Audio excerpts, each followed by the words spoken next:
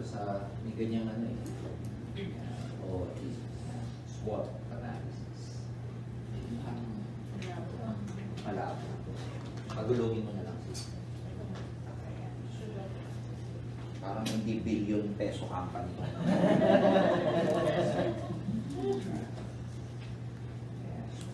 And pagdating dito sa SWOT, ano to, yung, hindi siya problema, hindi ito kakahiya, kahihiyan. Hindi siya para pag-usapan para uh, mapahiya or whatever. This is to analyze ano yung mga, kasi from this, malalaman na natin kung ano yung mga adjustment na pwede nyo gawin. O, halimbawa, kung i-access ko kayo, within your group or ang, within your individual, sa individuality ninyo, pag pinag-usapan natin yung strength, ano yung mga strength mo sa palagay mo? Ano yung strength? Strength, pwede kong sabihin na meron kayong skills. Tama ba ako? May skills ba kayo as a networker? Yes. Skills yun. You know, one thing about you na matagal na, yung years mo dito, naging skillful ka na. Yung experience mo dito, yun ang lamang mo sa mga bago. Na dapat lagi yung iniisip yun na marunong ka, may skills ka, may experience ka. And yung experience mo, enough yun para pagpalaki ng grupo mo. Hindi na tayo nagsisimula na parang ang kindergarten dito. Marunong ka na. Tama ba ako? Yes. Ano, may leadership ka na ba? May leadership ka ba? Yes or no? Yes. May strength yan. Kaya mong kaya mong mag-lead ng grupo, kaya mong mag-motivate, kaya mong mag-inspire, kaya mong ah, i-rally o i-mobilize yung grupo mo, kaya mong pasunurin, etc. Kaya mong maglabas ng leadership din, ng downline mo, tawag doon leadership. O ano pa? Ano pa? Attitude. Alam niyo na ba yung mga tamang attitude? Yes or no? Yes. So, I mean, in terms of ano ba dapat yung tamang attitude na? Kasi lahat kayo more or less, I will I will put it in a way that lahat kayo nagkaroon na ng downlines. Tama ba ako? Nagkaroon na kayo ng grupo. Tama ba ako? Yes. O, di ba? Ano yung mga importante nga? Ano yung sinasabi natin sa tao lagi? Mas importante pa nga attitude kaysa sa skills. Tama ba ako? Oo. Meron kayong vision. you have the right company. Oo. Nawala nga si mahal nating John Mac, pero lalo na naman kayo naging close kay Doc Ed. Nagets niya siya? So, yung, minsan yung may mga nawawala, nagiging opportunity yun para lalo kayong maging close kay Doc Ed. So, probably isa sa mga strength na meron tong grupong to is you guys are very close now to Doc Ed. Meron kayong easy access kay Doc Ed ngayon. Tama ba? Oo. Strength. Yung company, nabanggit ko na ito, mar- mar- marami to eh. Itong under the company, marami yan. Yung expansion program ng company, both local and international. Tapos, in terms of the right company, nag-uusap kami gabi-gabi ng, hindi naman gabi-gabi, almost uh, every night. Alam niyo, pag sa pag-analyze natin, kasi sa management, hindi lang importante yung pinatatakbo namin yung company. Kailangan alam din namin nangyayari sa environment natin, sa industriya. And you know, pagdating sa industry sa buong Pilipinas, kung bakit dapat ma-renew nyo yung vision nyo na malakas ang AIM Global, wala tayong kalaban. Tayo ang pinakamalakas na networking. Ano ah? Bakit ko nasabi yan? Dati, ang mga kompetensya natin dito, mga local companies, eh, local din. Wala namang lumaking international company ngayon sa Pilipinas magmula nung Forever Living days. Eh. After Forever Living, wala na. Puro local na ang namamerpal. From first quadrant to, ano ba yung kila, kila surgeon dati, yung Hygiene Portal. Wala na eh. After that, wala eh. Ah, wala akong maalala na pumutok na networking after Forever Living na international. Hindi na nagdagan ng bata. Kaya ang direksyon ng kumpanya ngayon, ngayong year na to, although wala pa tayo sa topic na yun, ang direksyon ng kumpanya this year, Generation Z. Kasi may millennials.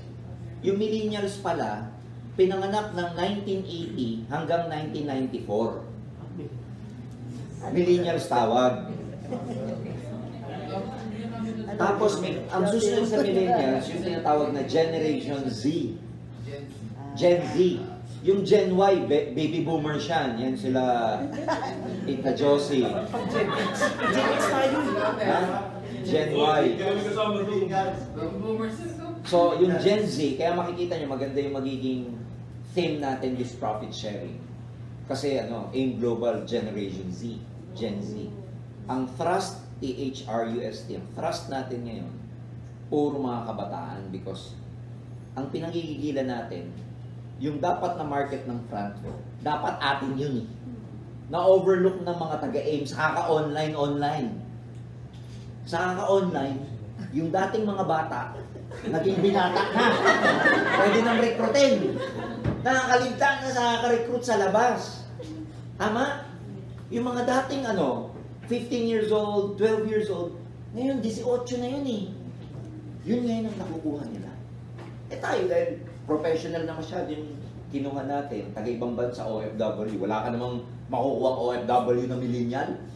Wala ka namang makukuha OFW na 20 anyos o 18. Karamihan ng 18, nandito pa sa Pilipinas yan, gumigimik, etc. Kaya karamihan mo makukuha pagdating sa OFW, ano, benching ko pataas. Yung benching ko pababa, nakakuha ng front row. Ito malupit. Wala silang international. Kung may international sila, I think meron sila sa Dubai. Pero sa iba, wala. Pero ingay nila rito, bakit? Kabataan eh. Eh, ang kabataan, alam mo naman, sa nagko-concentrate? Sa forma. Eh tayo, professional, na nakukuha po, OFW, bla bla bla. Bigyan mo ng 5 years yung dating 25, 30 anyos na. So, yun ngayon. Kaya magiging theme natin this year, Generation Z. Kasi yun ang gusto natin kunin. Yun ang pakakapalin natin ngayong taon na to. Anyway, of all the local networking, sabihin nyo sa akin kung sino kalaban natin after knowing these things. International, wala. Bakit hindi babangga ang international sa binary? In global, paano, paano, paano nila tayo mapapatumba? Karamihan ng international company, every two weeks ang payout. Kami sa Forever, 15th of the following month. Every 15th of the following month. Yung January, makukuha ko sa February 15. Ang tagal! In global, paano mo babanggain? The only company na nagpe-pay out ng daily basis. Yeah. Lalabas pa yung Saturday and Sunday, very, very good. Kaya ang point ko dito, kailangan, kay ikaw mismo, ma-renew mo yung vision mo na kahit matagal ka na, dapat wala sa puwang sa isip nyo na hirap na eh. Hirap na makarecruit eh. You, di ba may kasabihan, alam na natin yan, you create your own reality. Ako nagkikreate ng reality ko, ikaw, AJ, nagkikreate ka ng ibang reality mo. Pero pag leader ako na magaling, tapos yun din ang na-train ko sa'yo, yung reality ko, nagiging reality mo rin. Kaya pag sinabi kong mahirap, at na-train kitang mahirap, mahirap din. Kaya napakalaki ng role ng leadership kasi ikaw ang naging influence. Bakit nung bago ang bilis mo makabuhay? Kasi yung influence mo, excitement. Ang influence mo, gigil. Ang influence mo, sarap mag-recruit. Ngayon matagal ka na, ang nagiging influence mo na ano na, hirap mag-recruit. Diba? Daming taga, daming kompetensya, daming networking. Joy Solitana kasi na yan. Hirapan tayo ng Joy Solitana na yan. Ikinalat mo pa sa grupo mo. Samantala may isa kang grupo, marirealize, ano ba yung Joy Solitana na yan? Alam mo, merong, merong ano, merong, uh, ito true to life sa Amerika to naba, nabasa ko. During the Great Depression, pag sabing Great Depression, period to sa Amerika na yung economy nila, bagsak na bagsak. Di ba may recession? Yes. May mas matindi doon. Depression ang tawag. Stock market, bagsak, kumpanya nagsasara. Ang gobyerno, yung mga walang trabaho at nawalan ng trabaho, etc. Kailangan nilang pumila kasi nagrarasyon ng pagkain. Ganon katindi yung Great Depression. May isang nagbebenta ng hotdog sa Amerika. Nasa pagbebenta niya ng hotdog, can you imagine during the Great Depression? Bebenta siya ng hotdog ah. Napaaral niya yung anak niyang dalawa, lalaki. Nagbebenta lang siya ng hotdog. And ang daming na-amaze sa story niya kasi may depression, kabebenta niya ng hotdog, na pag-graduate niya yung anak niya. Yung anak niya graduate, parehong ekonomista. Kasi nga, yun ang in-demand ng mga araw na yun. Kasi nga, may depression ang kailangan ng tao, kailangan ng gobyerno, mga economists. So nagtapos yung dalawa niyang anak na economist. Nagtapos na yung dalawang anak niya, bibenta pa rin siya ng hotdog. Nagtanong yung dalawa niyang anak, pati anak niya, amazing. Paano mo kaming napaaral? Gayong merong Great Depression. Alam mo, sabi ng matanda, anong depression? What's Great Depression? In-explain ng dalawang ekonomista, may graph pa. Yan? Ah, may formula pa. Nung na-internalize ng matanda na may depression, suddenly, unti-unting nag-slide yung benta ng hotdog. Galing ano? Ano ibig sabihin nun? You create your reality. Para dun sa matanda na nagbebenta siya ng hotdog, makakabenta ako kasi pamparal ko to ng anak ko. Makakabenta. Wala siyang pakialam sa nangyari sa environment niya. Nung na-inject nung dalawang anak niya, yung information sa utak niya na may depression, tapos na-entertain niya, ano nangyari? Bumagsak ang sales.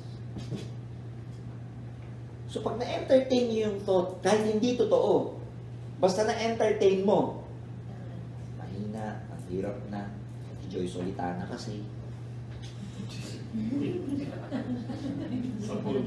Wala kasing incentive masyado yung kumpanya. Yung GC, ganito kasi. Ang dami mo ng justification. Ano nangyari sa performance mo? Naapektuhan ba? Of course. When in fact, you can just blindly, sabi mo na existing to. Pero pwede namang hindi mo i-entertain. Iba yung existing sa entertainment. nag exist yung issue na yan, pero hindi ko na-entertain, it's okay. Pero yung nag exist na yung issue na yan, in-entertain ko pa. Lalong ina grupo ko. Kaya minsan may grupong isa, hindi nila alam kung ano yung Joy Solitana. Hindi apektado.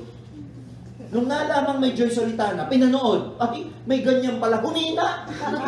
pinanood pa kasi, wisit.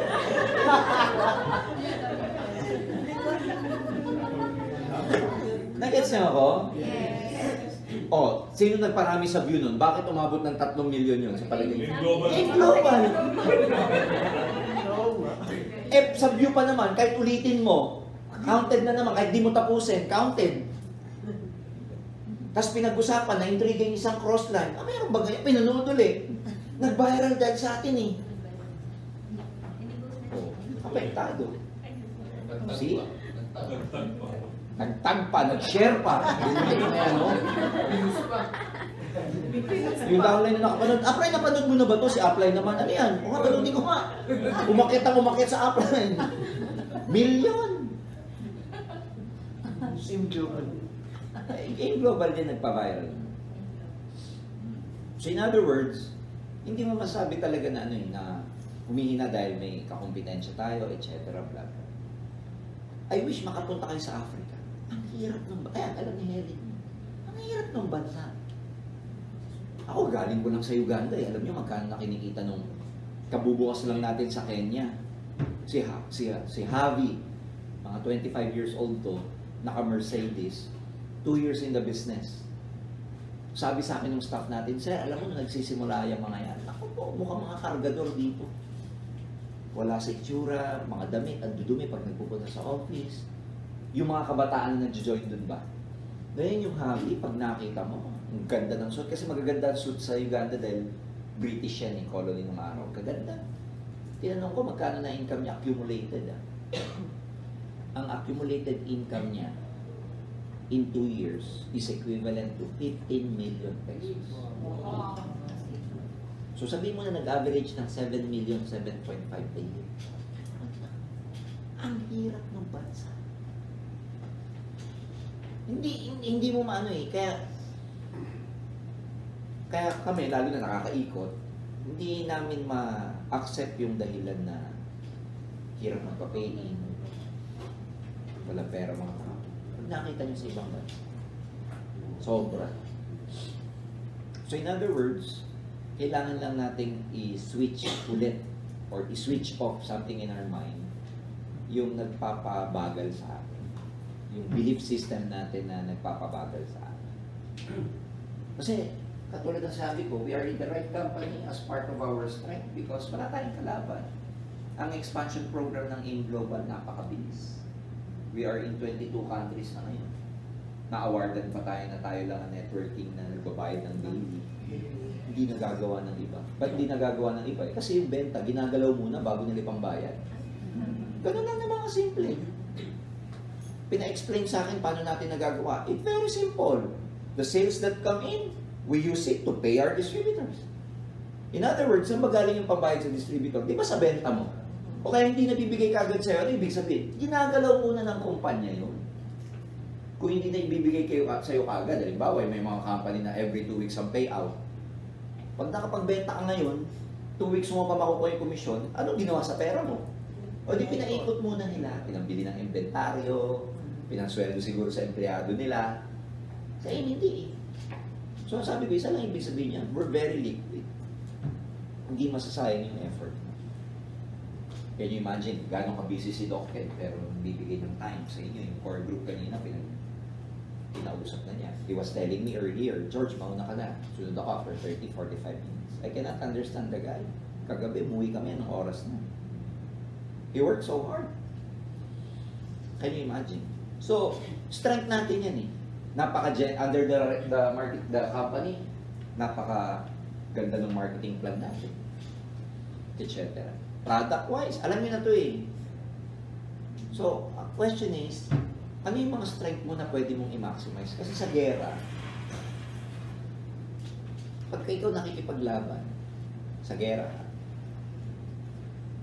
ano ba yung gagamitin mo para manalo kapag nasa gera? Yung disadvantage mo, advantage mo. Advantage. Huwag kang titingin sa disadvantage mo pag nasa gera ka. Titingnan mo yung advantage mo. So ang tanong, ano yung advantage mo na nasa iyo? Yun ang i-maximize mo. Huwag mo nang hanapin yung wala sa atin. Huwag mo nang hanapin yung kung ano. Kasi what you focus on expands. So pag nag-focus ka sa disadvantage, nag expand yun eh. So mag-focus ka sa advantage mo. Ito, ang laki ng grupo nyo. Isa sa maingay na grupo. Dumating kayo sa point na ganyan, TGX. Nakikipag-away kayo dun sa... Saan ba nakipag-away TGX noon? Yung sa katabi, sa upuan. Che! Kailan nga yung mga araw na nakipag-away itong mga to dahil yung upuan nila eh, kinain, sa Araneta ba yun, sa MOA? Naalala niyo yung mga panahon na yun? Bakit kayo nakikipag-away? Ang laki ng grupo eh. Hindi ka makikipag-away kung kung tatlo lang grupo mo. Ibig sabihin, kinakain yung dapat para sa'yo kasi may grupo ka. Naalala niyo yun? May pangalan na kayo sa in. Company direct kayo. Doc Ed pa umuupo sa inyo. Ay, isisingit pa ako minsan.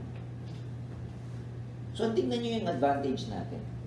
Yung technology na meron kayo, system na meron yung mentorship na, you know, pwede mong ma- ma-maximize. I've heard na, tama ba, magkakaroon kayo ng bagong office sa, saan ba? Hindi, tumitingin ng bagong opisina. Sa Lipa ba? Hindi pa. Hindi pa? Hindi pa ba? Hindi ka. Ayaw pa sabihin. so, maraming mga program yung company na pwede nyo ma-maximize. Maraming project. That's why, walang dahilan para mag-slow Kaya down. mo na sila sila magsabi nun. Yung ano, yung ano. Hindi ko daw sinasabi sa kanya yun. Hindi, nasa ano pa lang, nasa tawag dito. Planning stage. Yan, nasa planning stage pa lang. Next month. Next month, ikakalat na natin yan. Pero ang una makakalam, TGX, syempre ang una makakalat. So, ano yan, ah, at tignan nyo yung advantages ninyo. Yung strength ninyo. Don't focus too much on your weaknesses. Doon tayo mag-adjust. Doon kayo, you capitalize on your strengths. Oh, weakness. Ano yung weakness? Wala. Nga, eh, dyan nga. Minsan, kung, kung ano yung kung ano yung strength ninyo, hindi na nagiging weakness. Diyan lang. Di ba? Attitude like lack of commitment, lack of gigil, lack of vision. Again, katulad ng sinabi ko, mediocre na yung thinking ninyo. Huwag kayong mag slide back. Di ba sa religion may ganun eh. yung naging active ka for a while sa charismatic group, born again. Tapos pag nag-live ka, may term sila dyan eh, di ba? Nag-slide. Tama ba ako? Backslide or slide back? Backslide. Huwag kayong magbabackslide to thinking of being unproductive. Naging entrepreneur ka na eh. Huwag kang magbabackslide dun sa mindset ng mediocre like employees. Yung tinatanggap mo na lang kung ano yung nandyan. Hindi tayo ganun eh. You are not designed for that. Naka-design ka na make things happen, not accept things at it, as it is. So huwag kayong magbabackslide to that kind of thinking. Nag-improve na kayo eh. Nag-adapt na yung tinatawag na neuroplasticity ninyo. Kaya lang dahil sa attitude problems, hindi mo namamalayan unconsciously.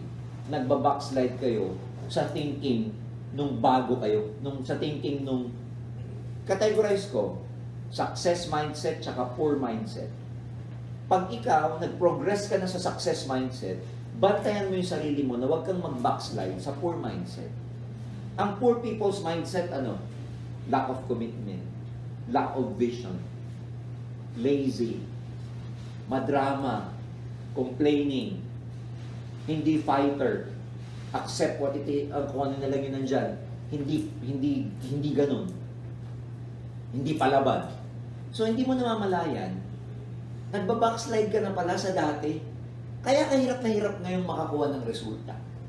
Na kahit anong hataw mo, I'm telling you ha, pag nag-backslide ka dun sa quadrant na yun ulit, kahit anong hataw mo dun, hindi puputok. Bakit?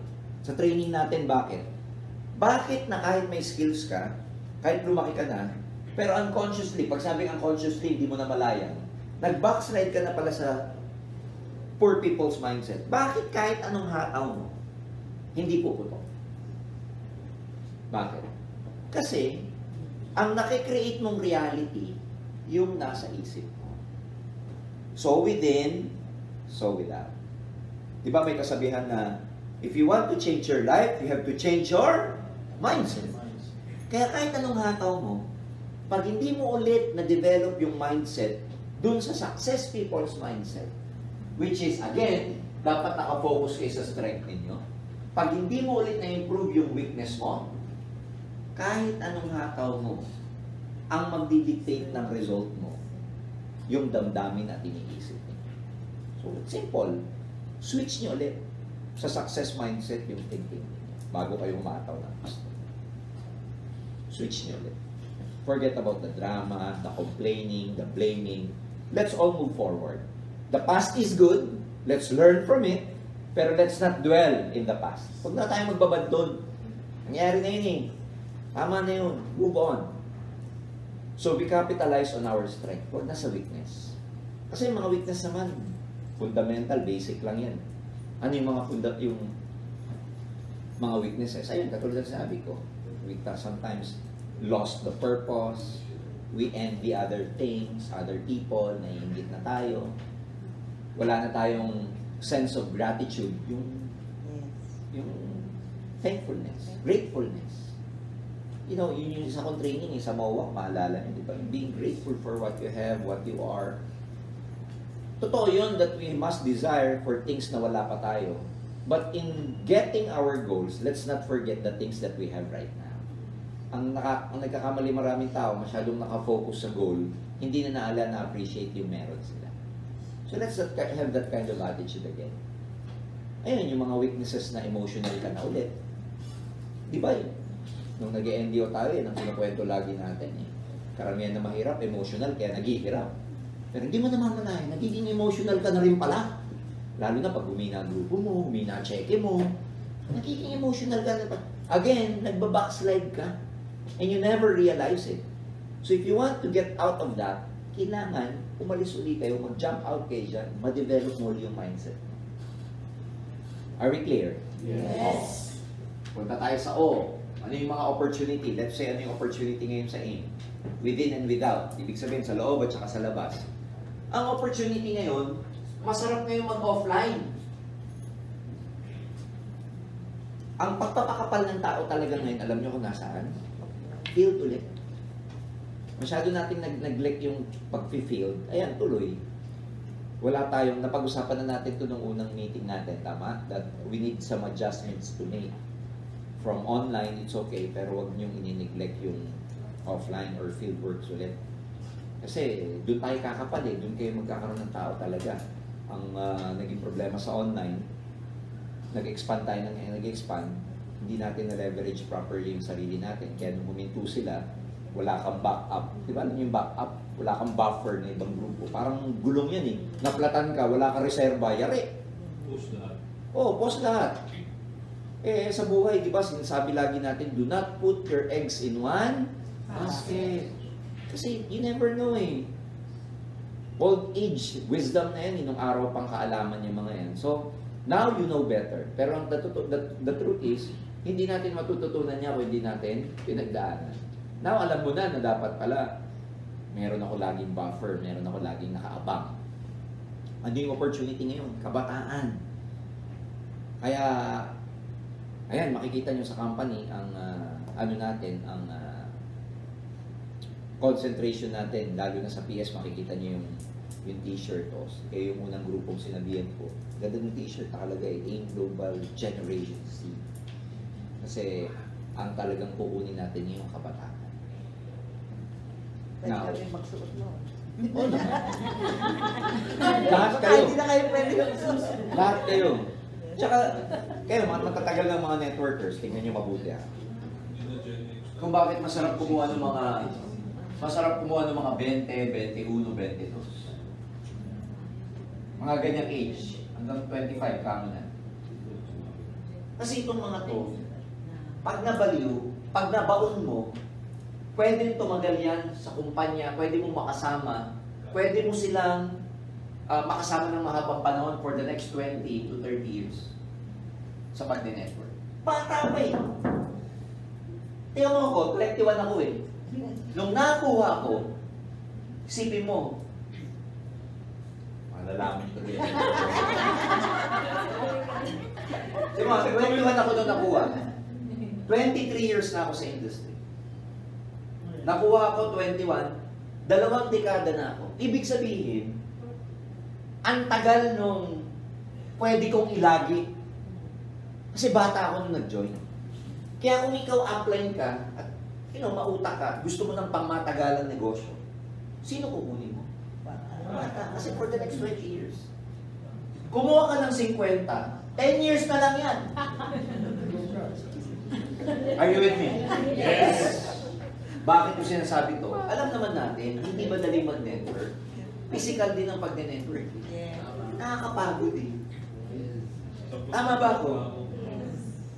Physical ang pag-network. Bakit mahirap, ma- ma- mahirap mag-network? Nakakapagod. Physical and emotional. Mental pa. So tatlo siya, physical, mental, emotional. So syempre, in fairness, pag may age na, they will never do this for the entire, for the rest of their life. Gusto rin nila mag-enjoy. Kaya pag ang kukunin mo, may edad na, sandali mo na lang makakasama, magre-replenish ka na naman. Ibig sabihin na replenish, papalit ka na naman. Pero pag nakakuha ka ng mababaliw mo na kabataan, ang tagal mo na makakasama yan. Minsan, mawala pa yung kumpanya na magkakasama kayo, bit-bit mo pa yan sa ibang kumpanya. Parang kayo. Nagets nyo? Yun ang advantage ng kabataan. Kaya magandang kunin ngayon, ayan, mga millennials, tsaka Generation Z. Yun ang opportunity natin. Bakit? Walang ibang kumukuha. Ang ibang ang kumukuha lang ng mga ganyan, mga taga front row. Kaya kung sila maririnig sa atin, daily payout, tapos doon every two weeks ang payout, mababaliw talaga sa atin eh. Kaya yung mga leader upline nila doon, ayaw nilang ipa-silip sa AIM Global. Ang turo nga doon eh, huwag kang huwag kang kakausap ng mga distributor ng AIM Global. Kasi makukuha talaga. Makukuha kaya nga si DM, ang dami niya nakukuha doon. Alam mo ginagawa ng leader natin sa DM? Kasi yung isang top distributor sa Davao ng ng front row, lakas gumastos para lang makakuha ng mga kabataan. Ang ginagawa ng leader natin si DM, nagpapasara ng bar sa Jensa. Papasara niya, siya na magbabayad para lang may mga magpuntang kabataan. Pag nagpunta doon, oh, sino nagpa-ano nito? Sino nag-sponsor nito? Ah, yan si DM, taga Globe. Doon siya ngayon nakaka-recruit. Nagpapasara ng bar, nagpapainom para lang makakuha kasi yun nga yung gimmick ng mga kabataan eh. Ang maganda sa kabataan, ano yung opportunity sa kabataan? Pag nakuha mo yung bata, ano gagawin? Kuha din bata. Kukuha ng bata. Ano pa? Nakukuha rin nila yung pamilya nila. Nakukuha yung nanay, tatay, kapatid. Na-inspire. Kaya pag nakuha mo yung bata, parang Jollibee. Alam niyo ba marketing strategy ng Jollibee nung pinutap yan? Bata. Kasi pag nakuha yung bata, kasama nanay, tatay, lolo, tatay, nanay, tita, kaya ang, ang ano nila, ang marketing nila, pambata. Kasi hindi naman mag-walk-in yung bata mag-isa yun. Wala mang pera mag-isa yun eh. Kaya tingnan mo, click na click. Ganito rin tayo. Pag kabataan nakuha mo, kuha na niyan yung buong sambayanan. Yun ang opportunity natin ngayon. Doon muna. Pakapal tayo dito. Kasi online technology is okay. Nandyan lang yan eh. Anytime pwede nyo gawin yan eh. Pero ang kailangan ibalik ngayon yung offline skills. Kasi ulitin ko, pag nawala sa'yo, pag hindi mo ginagamit, nag-atrophy, nawawala. Pag hindi mo ginagamit, nawawala. Kaya yung skills nyo sa field, kinakalawang na yan pag hindi nyo ginagamit. Kaya dapat gamitin ulit. Clear? Yes. O, ano yung threat natin? Threat. Threat, wala akong maisip na threat outside the organization kasi nga nag-depend ko na sa'yo, sa inyo. Wala ka tayong kalaban. Sabihin niyo sa akin, humihina. Sino yung nagpapahina? Distributor din. Pero hindi mo pwedeng masabi yung nagpapahina economy. Hindi mo pwedeng sabihin nagpapahina competition. Kasi nga wala tayong competition. Hindi mo naman pwedeng sabihin nagpapahina economy kasi nga from 7,980, bumaba pa tayo ng 6,980. So, dapat mas madali magpapayin ngayon. Tama? From 7,980, ang maximum 7 heads. Ngayon, nag-6,980, ang maximum 15 heads. So, by marketing plan, kung titignan nyo, mas dumali dapat. Eh. Threat, wala naman ako makitang iba in terms of economy, kumpanya, yung mga threat natin. Wala eh nasasabihin mong magpapa-slow down sa aim, wala. So, in terms of the SWOT analysis, again, wala tayong ano, wala tayong uh, nakikitang ibang dahilan kung bakit nag slow down. So, from this group, po, from this group, kaya din natin magpakapal. One thing about attrition, pag may nawawala, malalaman mo kung sino talaga yung pinakamatitibay. And ito na yun, ito na yung kaharap natin ngayon. Dito ulit magsisimula ang pagsabog ng TGX.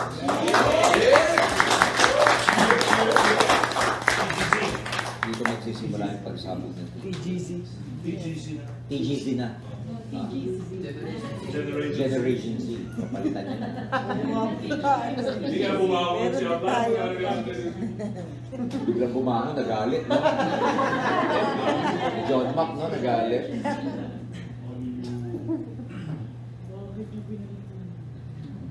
Kaya dito, dito rin magsisimula yung sa core, sa core, sa core na to. Kailangan lang meron kayong united effort, yung iisang direksyon. Sabi natin, kunwari pag sinabi magpapakapal tayo ngayon sa field, yun muna ang gagawin ng bawat isa. Hindi yung may sasanga na iba direksyon niya. Yun muna. Kasi importante yun. Importante sa isang organization yung you follow the vision. You follow the direction. Kasi pare-pareho namang makikinabang pag yun ang gagawin. And as I said, no, wala pa rin lalamang sa networking. Ah. Wala pa rin lalamang sa isang network na makapal. Okay.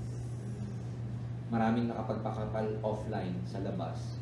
Kaya lang may psychological effect kasi ang ang field eh. Yung field, kahit tatlo lang ang downline mo, magbaliwan kayo. Pag uwi mo, baliw ka din eh. Pero yung downline mo na nasa virtual, 10 o 20, hindi mo nakikita eh. Pag hindi nag-reply, wala na. Hindi mo mahuli. Hindi ka tulad dito, pwede mong puntahan sa bahay. Pwede mong kulitin. Sa online, pagka in-unfriend ka, wala ka ng pa- wala ka ng choice. Sin mo, hindi nga po eh. Unfriend eh. Ha? Black pa rin iba. No, di ba? Hindi ka tulad ng physical, mag-lilo or whatever, meron ka pang mga last-ditch effort na pwedeng gawin. Sa online, pag nag-lilo, wala kang magawa. Kaya yung di mo pupuntahan. Kaya yung psychological effect ng may nakikita kang grupo, iba. Yung pupunta ka sa office, may kikita kang grupo, iba yun eh. Tapos makikita mo yung downline mo, may bit-bit siya. Iba yun eh. Iba yung psychological effect nun eh. Yun ang wala na advantage ng physical field na marketing sa online marketing. So we have to shift back again to that uh, method or direction. So iisa dapat yung direction natin doon. Kaya manggigil uli kayo. ah. Kaya finally, pointers ko number one, you have to set the vision again. set that vision again. And as leaders, dapat meron kayong malalim na purpose bakit yung ginagawa to. Again, don't slide back or don't backslide to being mediocre. Pabalik na naman kayo dun sa average.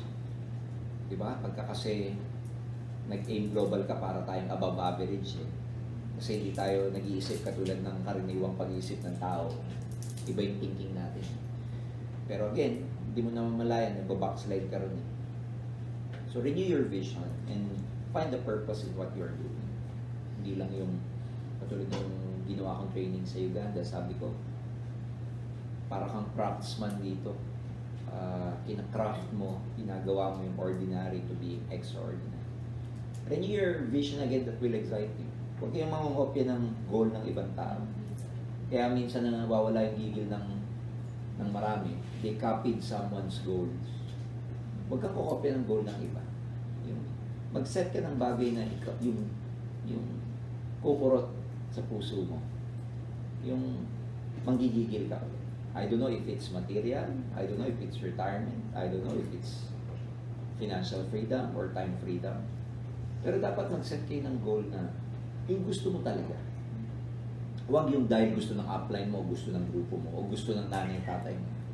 Yung gusto mo. Kailangan meron kang purpose dun sa ginagawa mo. Meron kang dahilan. Renew your why. Eh, meron yung, yung why nyo nga, maganda nga, hindi naman kayo pinanggigigil, di wala din. Yung why nyo nga, gandang pakinggan, pero hindi ka pinanggigil, wala rin.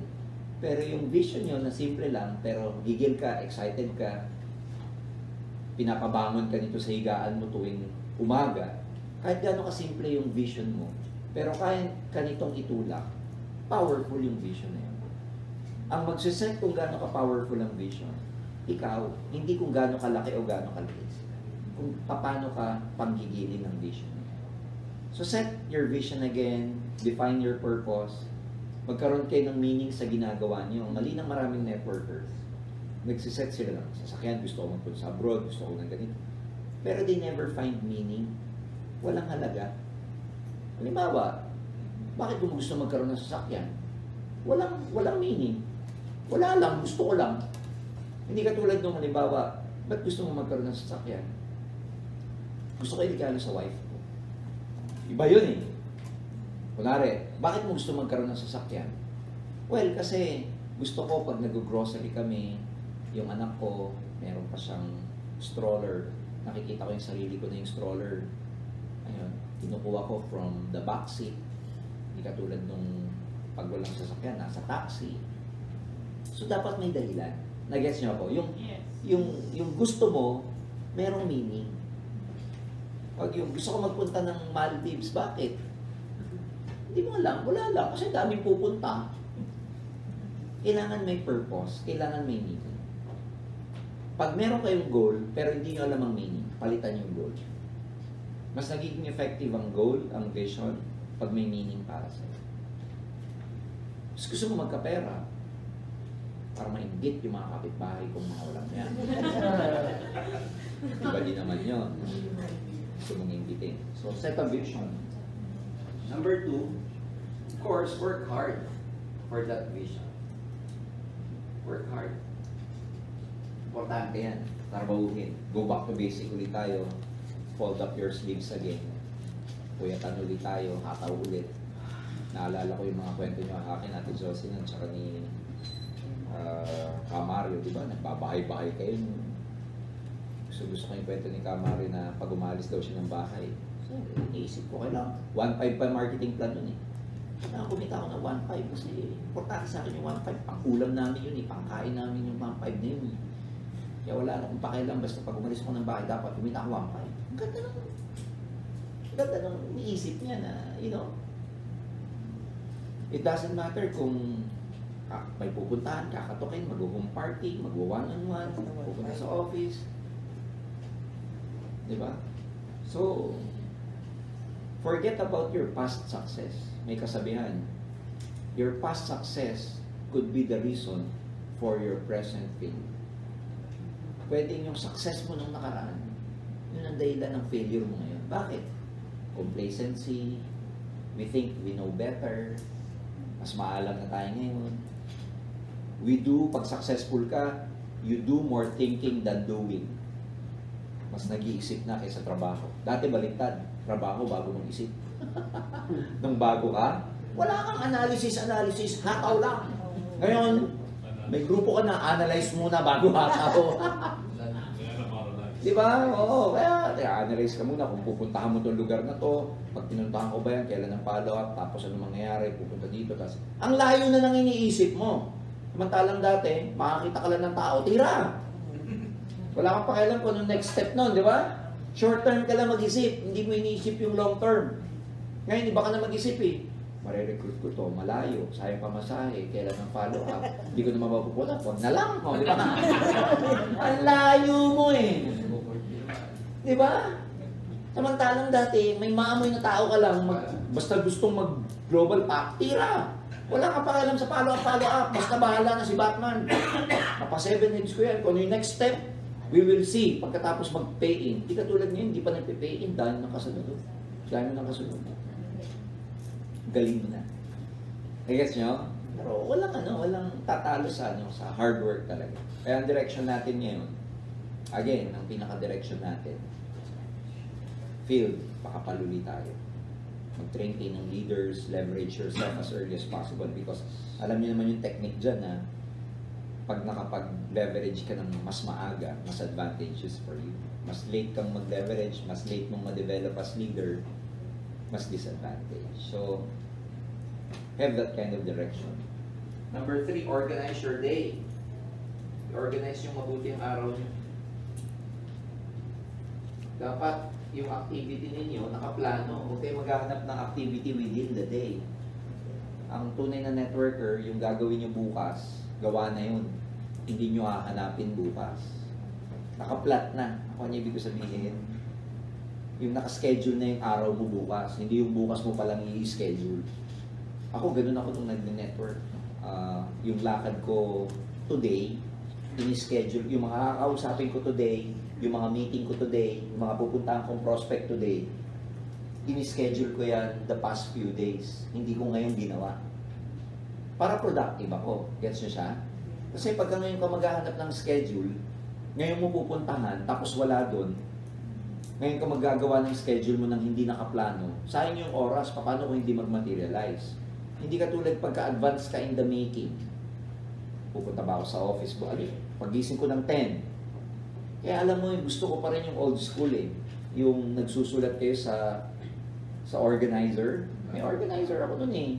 10 a.m. sinusulat ko. Iba kasi yung nakikita eh.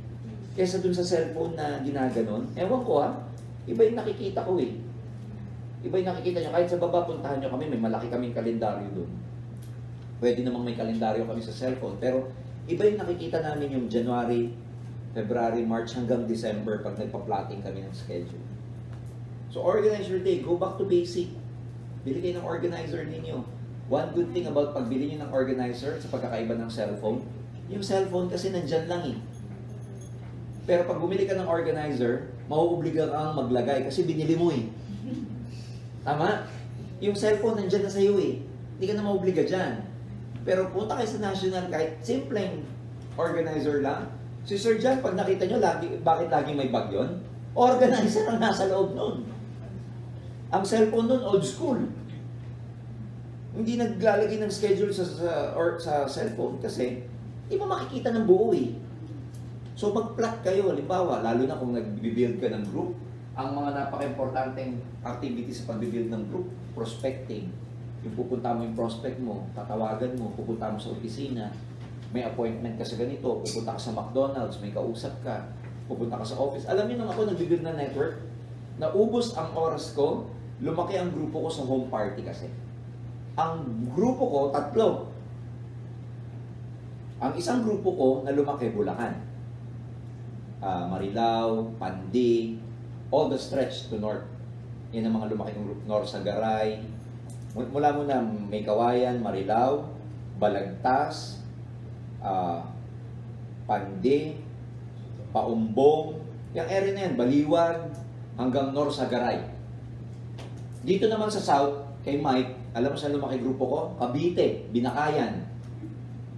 Binakayan, Bacoor, Imus, Dasma. Kaya ang sarap ng home party ko. Pagkatas ko sa Bulacan, Cavite. Ha? Oo. Tapos ang gitna kong grupo, ang lapit. Kawayan, Isabela. Oo. Yung grupo ko ng Cavite, yung pinaka-upline nun, nanganak ng grupo ng mga professionals. mga auditor sa SGB. Kung alam yung Sisip Goles. Mga auditor at saka accountant sa SGB, nanganak ng mga professionals. So can you imagine, dahil may grupo ko sa head office, mga professional ko, pagkatapos ng mga home party ko, I have to go back to the office for meeting after meeting. Doon ang schedule ko every day. Home party. Naka-organize yun, hindi bukas. Hindi ko ina-organize yun within the day. Naka-organize yun in the next coming days. So pupunta ako ng ganitong home party. Pag may hindi ako mapuntahan, sasabihin ko sa downline ko, hindi ako pwede dyan kasi conflict sa time. Mag-a-assign ako ng ibang pwede mag-home party doon. Tapos pupunta ako sa kabila. Tapos minsan may one-on-one ako sa Makati Cinema Square. Pagkatapos ko sa Makati Cinema Square, tatakbo ko sa Green Hills for meeting after meeting at 9 o'clock. Makikita mo yun sa organizer ko. Pagkatapos ko ng meeting after meeting ng 9 o'clock, 11 o'clock, meron akong one-on-one goal setting sa downline ko. Pagkatapos ko ng one-on-one goal setting sa downline ko at 1 o'clock, 11 to 1, 1 to 2 a.m., kami naman ng up, meeting with my upline. Makikita mo naman doon. At pag pinuksan mo yun, wala akong bakante.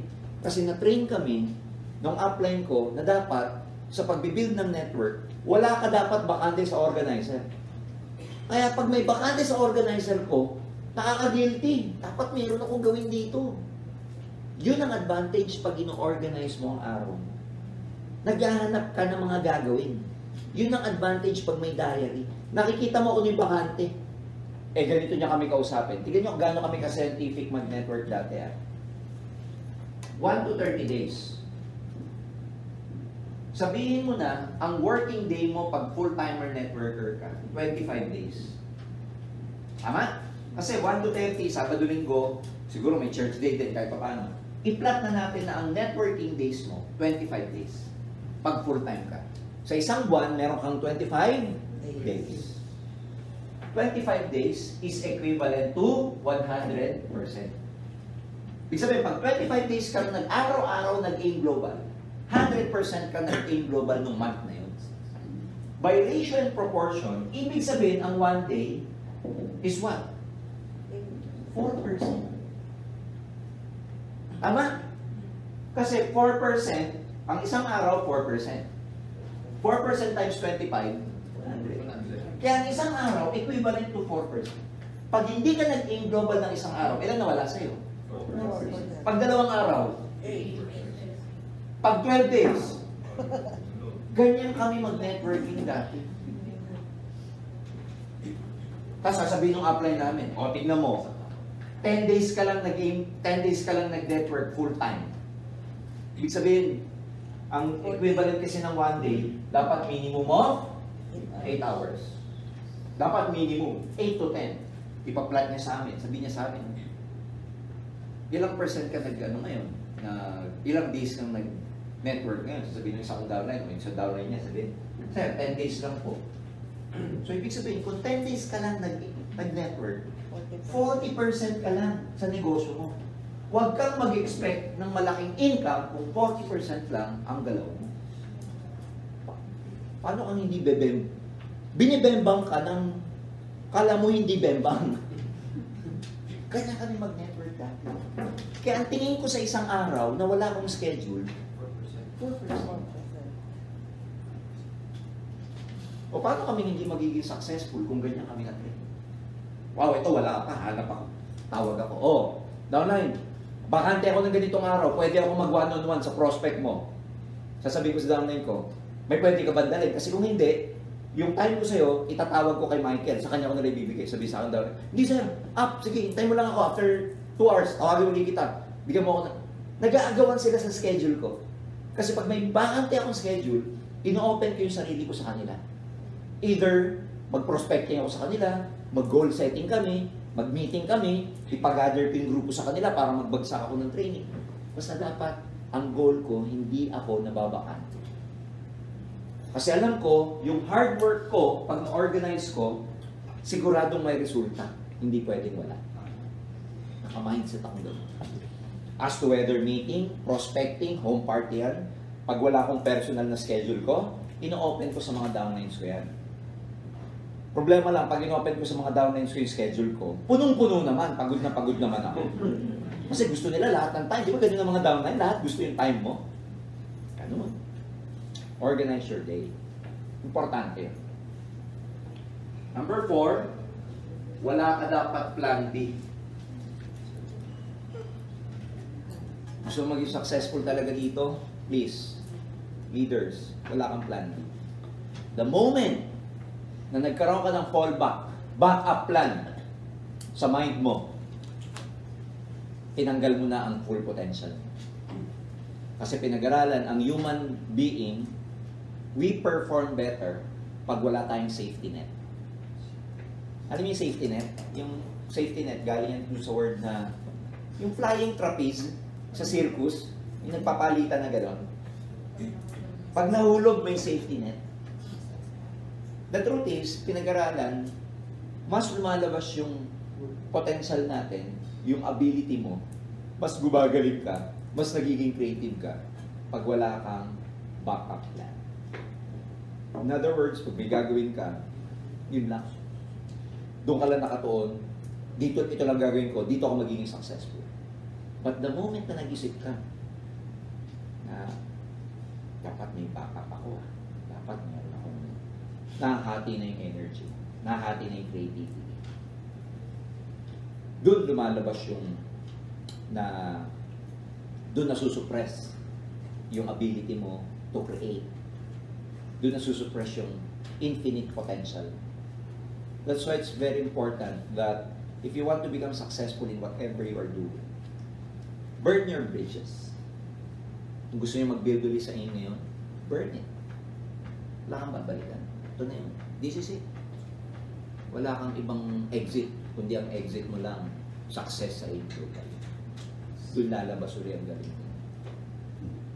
Doon kayo gagaling ulit. Ako naman, di naman ako natutukan ng upline ko natutok eh. Na mindset lang ako talaga. Sa lahat ng home party ko, isang beses lang ako nasama ng upline ko. eh. Kaya lang bakit lumabas yung potential ko? Kasi, na mindset ako eh. Na mindset ako to burn my bridges, do my best.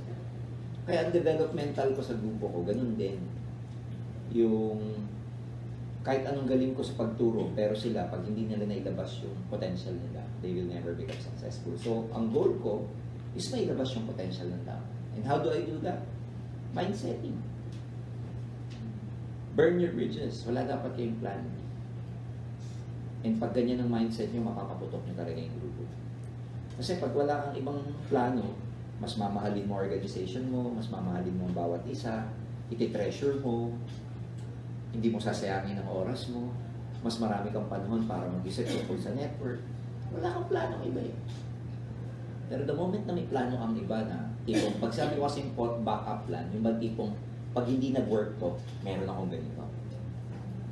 Iba yun dun sa sinasabi ko na backup plan na yung iba probably merong sideline, pang puno. Iba yun dun sa, pag hindi ako naging successful dito, ito gagawin ko. Yung ganon, iba yun eh.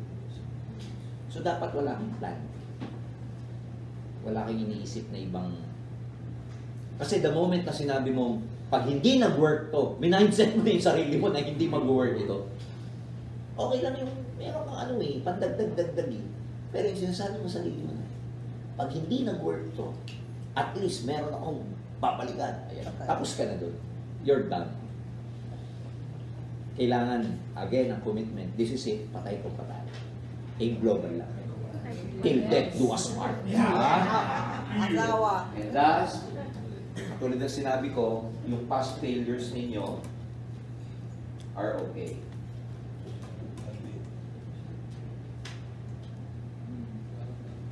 Yan.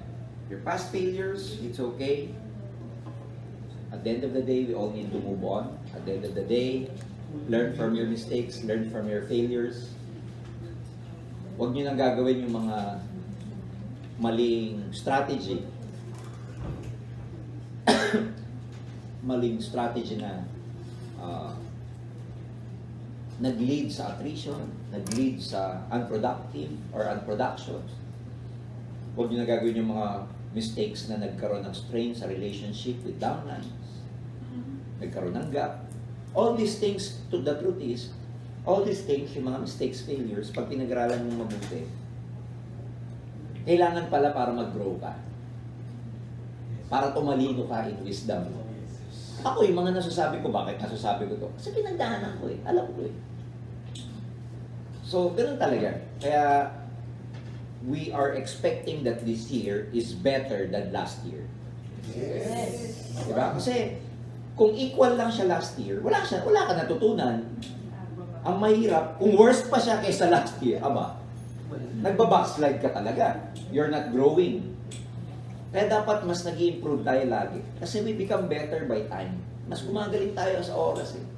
Mas marami na tayo natutunan, mas mas naging leader ka na, mas ako dati taklesa, natutunan ko dapat pala hindi ako taklesa. Dapat pala may empathy ako, alam ko yung pakiramdam ng downline ko. Natutunan ko, hindi pala lahat ng panahon, tama ako bilang upline.